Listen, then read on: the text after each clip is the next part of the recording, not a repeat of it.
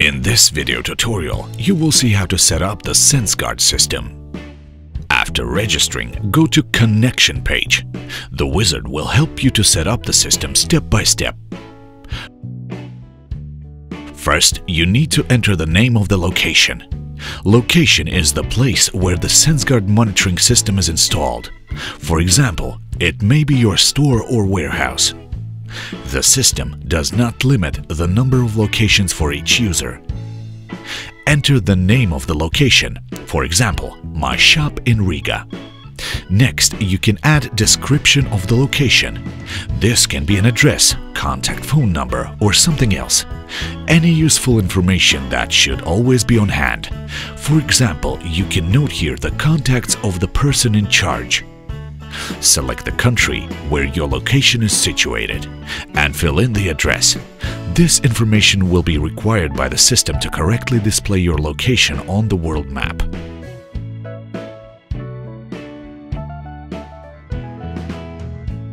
If required, fill out the brand name. This will help to sort out different locations for one brand in the future. Upload the room plan. You can place the equipment in this plan then. If required, upload your logo. Go to the next step to connect the data collector.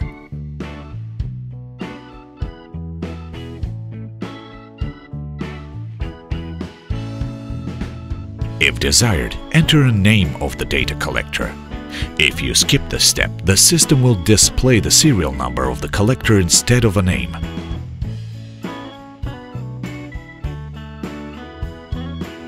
Enter the serial number of the collector and the verification code. They are printed on the case of the device. Move the collector using the mouse to the place of its installation. Select the color and upload a photo.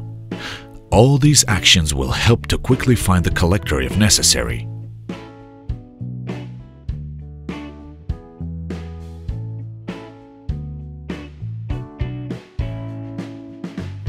Go to the next step to connect the object.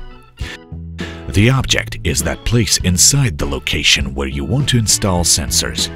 For example, it could be a refrigerator, a showcase, a whole room, and so on. You can put an unlimited number of sensors inside each object. It is obligatory to enter the name of the object. For example, refrigerator with ice cream.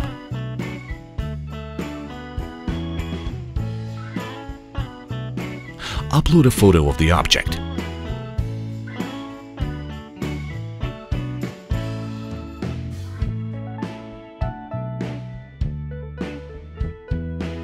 Place it on the location map and select the desired color.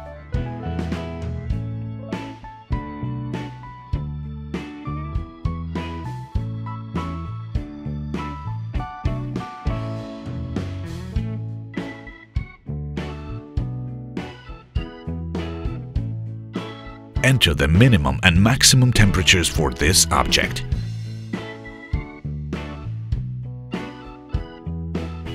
If necessary, set the settings to use the monitoring interval and the digital filter. More information about these wonderful features can be found on the Help page. These settings will be applied by default for all sensors connected to this object. You can also configure each sensor separately. Go to the next step to connect a sensor. Desired, enter the name of the sensor. Enter the serial number of the sensor and the verification code. They are printed on the case of the device. If required, enter the minimum and maximum temperature settings for this sensor.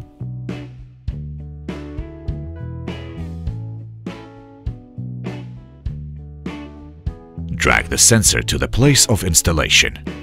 This will help to quickly find the sensor if necessary.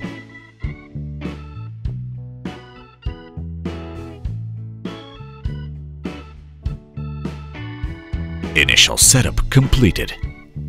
You can connect another sensor to this object or complete the setup. Now you can connect the collector to the internet. Within 5 minutes, the first data from the sensors will be transmitted, and you can see them on the monitoring page.